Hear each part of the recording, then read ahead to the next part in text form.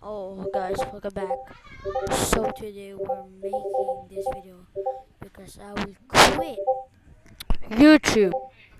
So we're gonna back be in one month or like two weeks or three weeks or uh, maybe um two weeks only so we can do daily videos on there two weeks and then so guys hope you enjoyed this and then I quit YouTube and then so goodbye